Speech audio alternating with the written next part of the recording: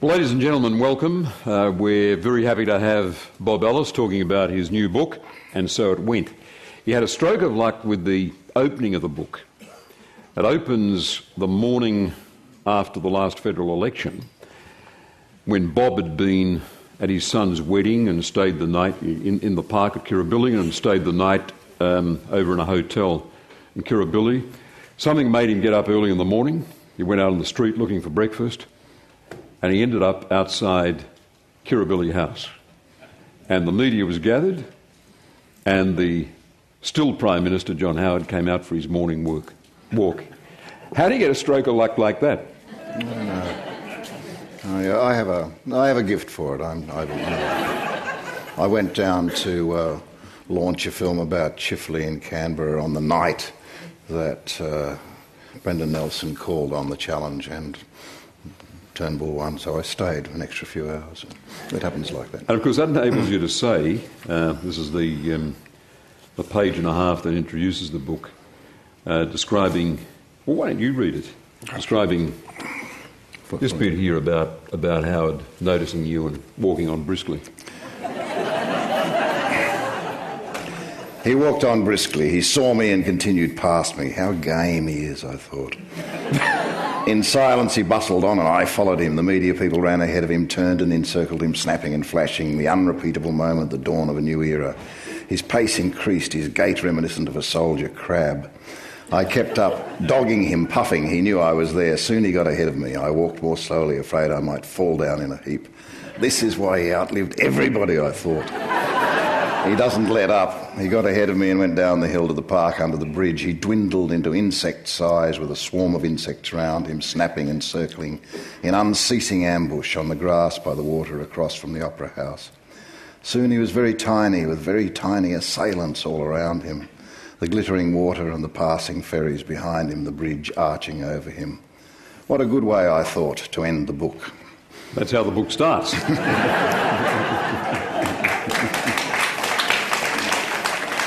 How do you describe this kind of book? It's, it's like a journal, a journal of things that, that happened as the Howard government was defeated and Obama won and, and Rudd won, and the politics. And its other feature is that you're inserted as a character Yes. in the book. Um, and there's, along with the political events, you're giving an account of a lot of cultural clutter. Yes. Uh, the plays you saw, the books you happened to be reading on the bus going, going back to, uh, to Palm Beach. So, um, the sort of book it is, does it owe, I'm just driven to ask, does it owe a lot to Norman Mailer, for example? When you were a student at Sydney University, would you have been impressed by Norman Mailer and thought, I want to write accounts of history like that, Armies of the Night and the other things? Exactly, you have me. I even went so far as to refer to myself in the third person until 1980 when my wife told me to stop. It, it could be a sign of madness. yes, I know. Well, that's right. Uh, Politicians, when they say, uh, uh, when, when, when you, you're, you're Well, Richard Nixon was. say, you know, you ask what Richard Nixon says. Richard Nixon says, you know, that, that is the first sign of, as you know. I've never done that. Not yet, comrade, not yet. So, would it be the, the way you've got all that clutter there, what I call the cultural clutter, um, alongside the account of political events? I mean, is that is that uh, all out of Norman Mailer and the new journalism? Is the new journalism part of that? It owes a, a Hunter S. Thompson, I'm thinking of. Oh, yes, uh, but it owes a little to Gore Vidal's wonderful memoir, Palimpsest, in which he drifted between present events and past events and uh, conversations he was having now and conversations he remembered from 30 years ago. I think it's, it's a wonderful form, and uh, as you correctly noted in your book there, uh, in your note on the back of the book, it, it resembles Tolstoy, in which. Uh, And he thought politicians referring to themselves in the third person was a sign of madness. And Tol- Tolstoy inserts minor characters into great public events, you know, and uh, I, I'm So- happy to be that one. So the new journalism, Yes. Hunter S. Thompson, uh, Norman Mailer's work. Um, would would a, a contemporary critic say there's a bit that's um, that's uh, postmodernist about the way everything's jumbled together? Possibly if I knew what postmodernist was. But uh, It seems to me that uh, you cannot apprehend history intensely unless you have a pair of eyes with which to do it. There is the, the lofty Peter Hartcher way of being, Peter Hartcher way of being 300 feet above the events, frowning slightly that I do not uh, like. I think it's, it's crazy to imagine that the reporter does not have feelings and reactions. And that's what you capture, your instincts yes. throughout all of, the, all of the events you describe. There's, there, I, I, don't think there'll ever be a better description of Kim Beazley mm. than the one you give, and I told you I yes. wanted you to read it if you've, yes. if you found it. It's, it's the one where you encounter Beazley in Parliament House after he's been replaced as leader and you have a conversation with him in the, the parliamentary dining room. You might, you might take us through yes. that. Tuesday, 27th of March 2007, 11.25 p.m. Drove to Canberra and entered in good order the Leader of the Opposition, Kevin Rudd's office. His young minder, Tim Dixon, greeted me cheerfully and we talked. Eventually he said, have you seen Kim? No, I said, I don't much feel like, you know, invading his misery, witnessing it. No, no, come on, he's fine. Come on, I'll take you around. And he took me round long corridors to see him. I was expecting a warm puddle of grief, but no. Brother Ellis, he shouted, mate! He was the vast Falstaffian mountain of cheer and resolution I'd always known. He proposed lunch in the members' dining room on him, and so it came to pass. We talked of movies, the Middle Ages, the lunacy in Iraq. Eventually I said, Do you have a view of Rudd? He gave one of his big share misery laughs. Ah, you and I are the last of the warriors, Ellis, he said. This has been a victory for middle management. yes, I said, yes, I see. He's brilliant, he's brilliant. And in this game, that doesn't hurt. But in the end, in the end, in the bitter end, he believes in nothing. That's him, that's, speak, that's him speaking, yes, not yes, you. Yes, yes. That's not right, I said. I mean, he, he said to me once, people think I'm a God botherer, but I'm only a small g God botherer, really. Which means he believes in nothing, Beazley shouted ebulliently, closing the subject and sitting on the lid.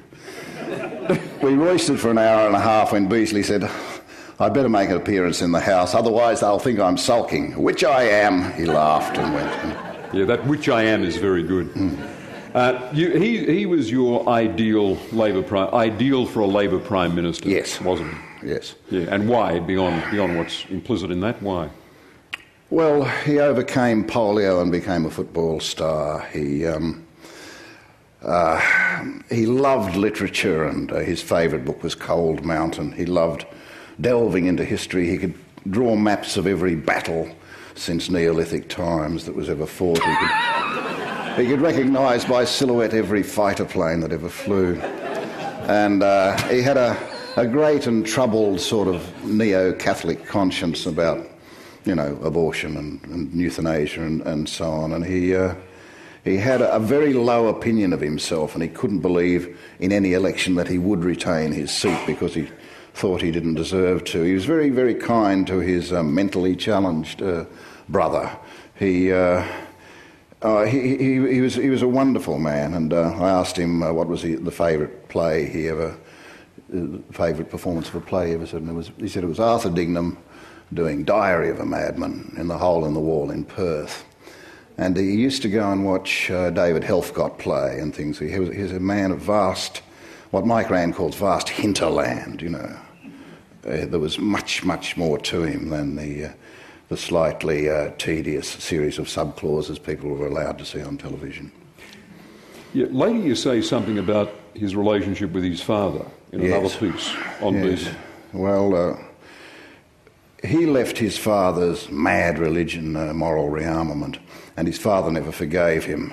And his father began to regard him as a waste of space, and uh, the, on the worst day of his life.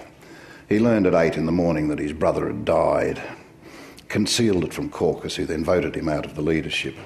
And he got on the plane that afternoon to fly five hours back to the corpse of the brother who loved him and the stern gaze of the father who regarded him as a waste of genes.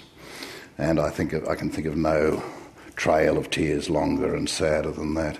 Um, Sid Hickman, who was his chief of staff for many years, said that if if his father had died in 1996 and Mick Young had not died, he would have been Prime Minister in 1998, and I hold that to be true. We all fear the disapproval of our fathers beyond most things, and he had to labour not only with the long flight to Perth twice a week and back, but he had to labour with the destination, which was his uh, father's immense and continuing disapproval. Yeah, you actually speculate, in respect of that long flight to Perth, that uh, jet lag saw him off as a leader. Yeah.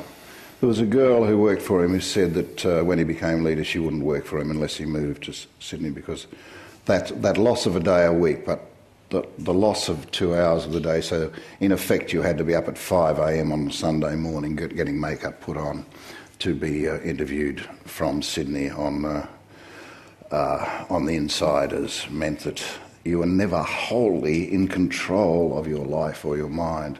It is a terrible fact, and it's another part of the tyranny of distance in Australia that uh, most Perth politicians who come to come to Canberra first of all lose their wives, and then they lose office and they lose their minds.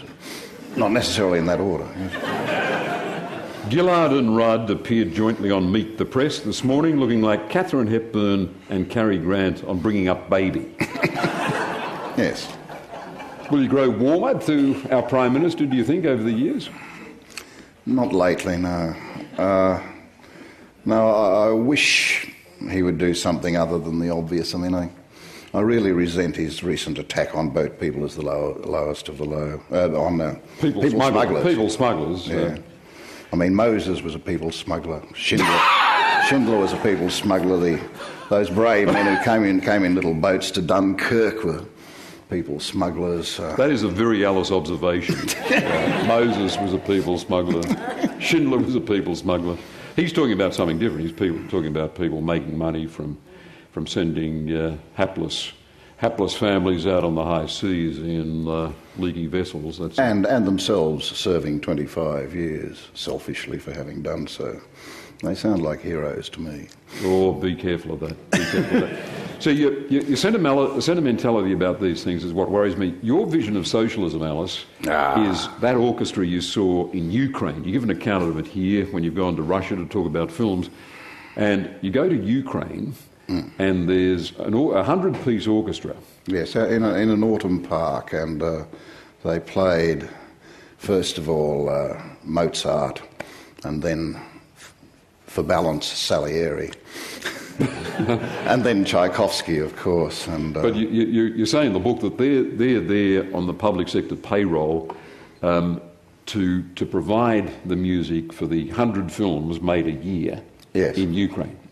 And you imply that that's your vision of socialism. Everyone on the public payroll, dressed a bit like you, um, cigarette ash coming down the, the lapel, uh, or food stains in your case, and, and um, working for the government and vast cultural subsidies keeping, uh, keeping film and, and theatre alive. That, that, to, to be honest, that is the, your vision of, of what our society should be like, isn't It's it? my vision of the arts. Uh, with it, the, uh, the Russians gave us the best cinema, the best live theatre, the best orchestras, the best ballet, the best circuses, and, uh, and so on, uh, that the world has seen. I, I, wouldn't, I I think uh, it's quite right. There should be private grocers and restaurateurs and so on. But the arts, the arts, comrade, the arts need protection. We all agree with that. We all agree with that. Um, moving on to John Howard. Yes. How, how deep does your feeling about him run? Beazley said that my hatred of Howard was such that it was shrivelling my soul and distorting my life and harming my career, and I should give it up. And I said, I can't, I can't. You know. I, uh, I, I don't hate anyone apart from uh, uh, the, the, the former President George W. Bush um, on, on, on very well based grounds. But there, there were flashes of hatred I felt towards Howard on three occasions. One is his stub- stubborn resistance to doing anything about climate change, saying, for example, well, why should we act before the Indians and Chinese? Yes. The second indictment is, is him gratuitously launching an attack on Barack Obama, Yes. saying that a victory for Obama would be a, victory for bin Laden. Now, it was a politically illiterate statement, It was unwise in terms of Australia's national interest. He did it only to get a pat on the head from the Republicans off in Washington. And I thought that, that deserves our contempt, especially. And the third one was a mysterious statement he made in the lead up to the last federal election where he said, Please, uh, words to this effect, please understand that for someone like me, there's been enormous difficulty in coming to terms with the Indigenous issue. Yes. And I wondered what he was talking about. As a, as a 12 year old in Matraville, I knew that the Aborigines at La Perouse were peculiarly disadvantaged, and these sandhills had once belonged to them, if not that particular clan, to mm. members of the uh, Aboriginal race, and they'd been they'd been supplanted by the whites who arrived in 1788. What he meant by that, I, I find to this day a mystery, but it made me feel very angry about him. Yeah, he seems to have. Um, I think you know what I mean when I say that some people are frozen at a particular age and they grow uh, intellectually and emotionally no older. And I think round about at the age of 11 when, when he first when he first hit pay dirt as a schoolboy orator and a class sneak. He, uh, he didn't develop beyond, and uh, I think they, the attitudes that he had about the Indigenous people and the British Empire and all that persisted.